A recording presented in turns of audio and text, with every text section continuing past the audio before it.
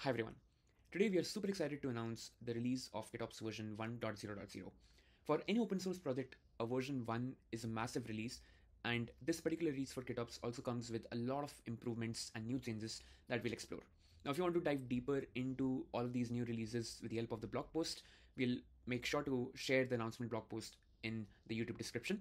Now let's go over some of the major changes one by one. And the first one is the dev mode.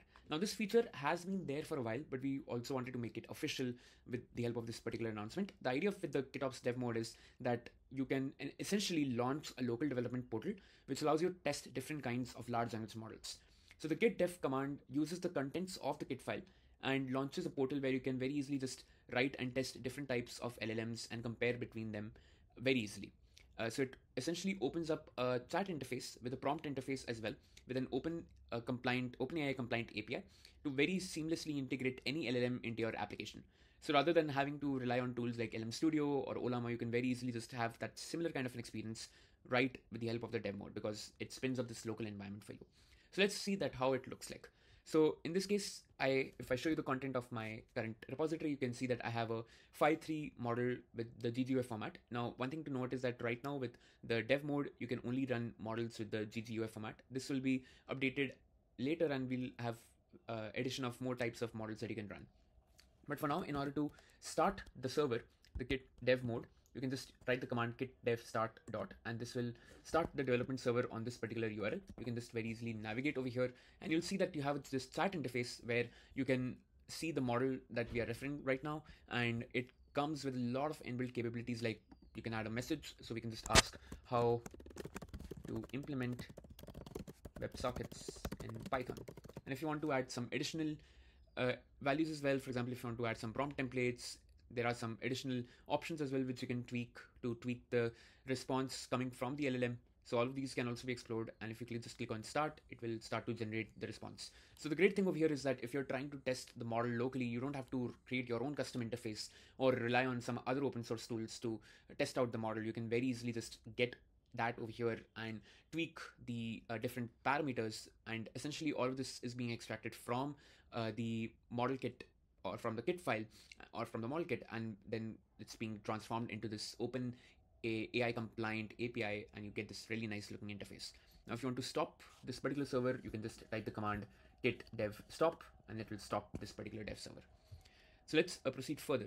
So the other major uh, announcement has been the PyKitOps SDK. So this is the official Python SDK for KitOps, and you can very easily just use this um, rather than having to rely on writing the kit file manually. Now we there's a Python library that you can very easily use, not just to define your kit file, but also to actually push uh, your kit file to your Jozu Hub or any other OCI compliant registry for that matter.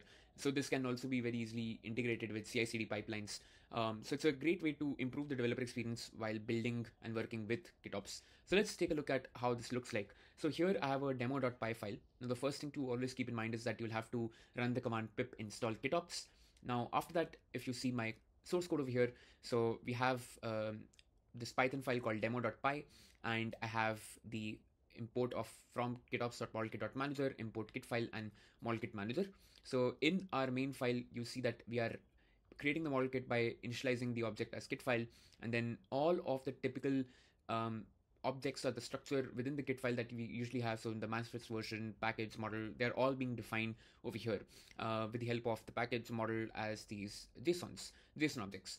And then when it comes to actually pushing this particular model kit to Jozu hub um, so we just provide the tag and then we provide this function. So we use this function called as model kit manager and then we simply go ahead and use this particular command pack and push model kit which will not only pack the model kit for uh, pack the kit file to generate the model kit and then upload that model kit to or push it to Jozu Hub. And in this case, because we are relying on uh, Jozu Hub, or for that matter, if you are planning to deploy and push your model kit to any other private registry, you can just change the variables in the env file. You'll find enough documentation for this. So if I just go ahead and run this particular command over here, so if I just go ahead and run python demo.py, you can see that it generates the content of the kit file and also logs into the password with the help of the password to Jozu Hub and also pushes this particular um, model kit that I've just pushed to Jozu Hub as well, and then automatically logs out of JozuML. So this is a great way for you to now in, essentially initialize and run this as part of any other project. So it's a great way to get started and not have to rely on manually writing these yourself. Now, the next one is also, of course, there have been some announcements with uh, integrations with CI/CD tools. As we know that AI and CI/CD work really well. In fact, um, there is a need for being able to have better CI/CD for uh, ML projects because of the complexity of the ML projects. And of course, we know that KitOps makes it very easy for you to integrate um, the AIML CI/CD pipelines with the help of KitOps. So you can very easily just incorporate these Kit commands either as Dagger pipelines or as you can over here see that there is an official Daggerverse or of course there's also another one which is the MLflow which allows you to serve uh, Jozu Hub as an artifact repository for MLflow. There's in fact a dedicated video that you can check out on the Jozu Hub YouTube channel to cover what exactly has been covered in that uh, uh, video so you can explore some of these integrations. There are some other ones that are there for GitHub Action. So there is an official GitHub Action for Jozu Hub and there are some blogs that we link down below um, with Jenkins and Red Hat OpenShift. Now, another really important useful feature is being the ability to import Hugging Face models to model kits directly. So with this version 1.0 milestone, um, one of the best features I think personally is the ability to use the kit import command, where this particular command will allow you to pull any model available on Hugging Face or any other such type of a public repository where you can fetch a model and it will convert that not only into a model kit and you can then push that particular file. So for instance, um, if you want to like, let's say run this kit import Microsoft Phi 4, you, you can just use this particular command and it will download the content of the model uh, of the Hugging Face repository locally uh, in a temporary fashion. And once it has actually generated the model kit, it will remove all of those temporary files very easily. And then you can just push your uh, code, right? So let's take a look and just try to run this kit import Microsoft Phi 4. Um, so in this case, we'll just run this particular command and you can see over here that it automatically imports this particular command because we know that it's from the Hugging Face model. So it's first using the git lfs to download all of that content that is available. So in this case, we are downloading the 5.4 uh, 5.4 model. And once uh, this particular process will complete, um, you'll be prompted if you want to make some changes to your Kitfile or not. If not, well and good. Uh, you can just proceed with saving that Kitfile and you'll be able to see the model kit that has been created with the help of this import command.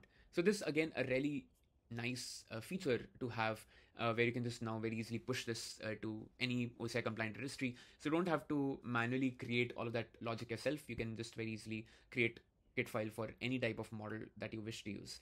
So these were some of the major changes that were uh, as part of the KitOps version 1.0.0. In fact, uh, there's another really nice article that we'll recommend to everyone to uh, take a look, which is uh, basically this one from Brad, the CEO of uh, Jozu, to kind of not only see that apart from all the major improvements that we have covered, there are of course a lot of performance improvements so you can definitely take a look at this particular blog post and what it also actually means for the open source community in general uh, regarding KitOps project.